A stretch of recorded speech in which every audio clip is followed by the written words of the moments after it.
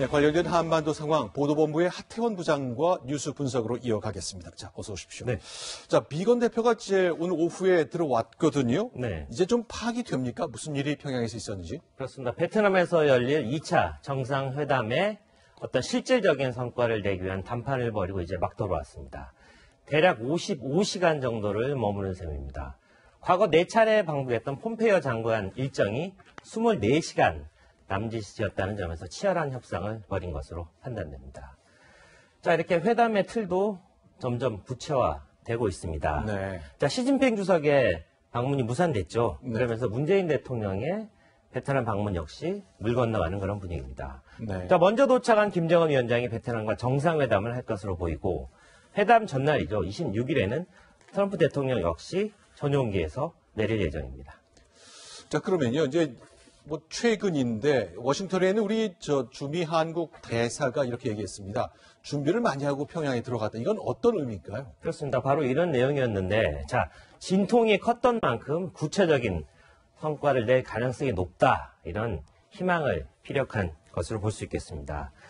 자, 북한이 하겠다는 게 이런 거죠. 영변 핵시설 폐기, 그리고 풍계리, 동창리 검증. 그에 대한 상응 조치로 이런 제재 완화를 요구하고 있고요. 미국 역시 종전 선언을 하겠다는 그런 얘기를 하고 있지만 그에 반해서 농축 우라늄 폐기, 그 다음에 ICBM 폐기 이런 것들을 강력하게 요구하고 있는 상황입니다. 근데 계속 같은 내용이 이제 반복될 수밖에 없는데 좀 새롭게 들려오는 내용이 있나요? 네, 그렇습니다. ICBM 폐기와 관련돼서 오늘 네. 새로운 내용이 공개됐습니다. 자, 트럼프 대통령이 지난달 백악관을 찾은 김영철에게 ICBM을 포함한 모든 종류의 미사일을 폐기할 것을 요구했다. 이런 내용입니다. 그러니까 장거리뿐만 아니라 중거리, 단거리 다 없애라 그 얘기네요. 그렇습니다. 아시다시피요. 협상이라는 건 주고받는 것 아니겠습니까? 자, 미국이 미사일 폐기를 조건으로 만약에 어떤 약하게나마 제재 완화를 요구했을지 그 여부가 지금 현재 협상의 초미의 관심사가 될 것 같습니다.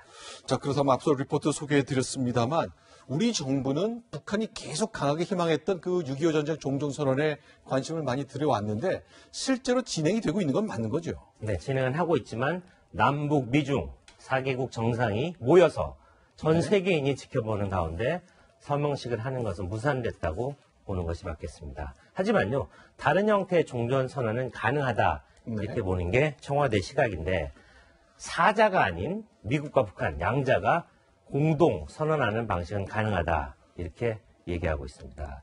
자, 9월에요. 네. 작년 9월이죠. 평양에 갔을 때 군사 합의서를 발표하지 않았습니까? 그렇죠. 그때 남북은 실질적인 종전 선언을 이미 했기 때문에 굳이 남북 남한이 가서 사인할 필요가 없다. 이게 하나의 논거고요. 또 하나는 중국은 북한에 군대를 가지고 있지 않지 않습니까? 그렇기 네. 때문에 중국도 굳이 이번에는 사인을 하지 않아도 되겠다. 그렇기 때문에 미국 그리고 북한이 선언을 하면 그거로 되겠다. 이게 현재의 청와대 입장입니다. 그러니까 이렇게 종전 선언하는 자리에 문재인 대통령이 가- 참석하고 싶은 의사는 작년 싱가포르에서도 그렇고 이번에도 그랬는데 일단 성사되지는 않을 가능성이 높은 것으로 보신다는 얘기네요. 네. 자, 일단 27일, 8일 앞두고 저희 한 사흘 전쯤으로 예상했는데 김정은이 베트남에 갑니다. 할아버지 김일성도 똑같이 갔더군요. 네. 뭐 자세히 알고 보면요. 북한과 베트남은 굉장히 오래된 사회주의 혁명의 인연을 가지고 있습니다. 네. 일단 북한은요. 베트남 전쟁 당시 우리는 참전했지만 전쟁 물자를 지원했던 그런 경험이 있죠. 저기 보여지는 게 지금 호, 어, 호치민과 김일성 젊은 이 시절에 김일성과 호치민. 네. 산책을 하는 그런 모습입니다.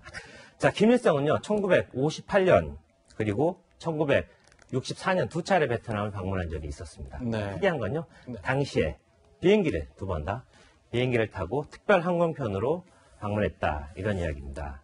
자, 이번에 김정은 위원장이 베트남을 방문하면 북한 지도자로서는 55년 만에 다시 한번 베트남 땅을 밟게 되는 셈입니다. 그렇죠. 뭐 아버지 김정일만 뭐 비행기 기피증 때문에 열차를 이용했지 할아버지는 늘 비행기 탔었, 탔었으니까요. 알겠습니다. 보도부의 하태현 부장과 함께했습니다. 고맙습니다.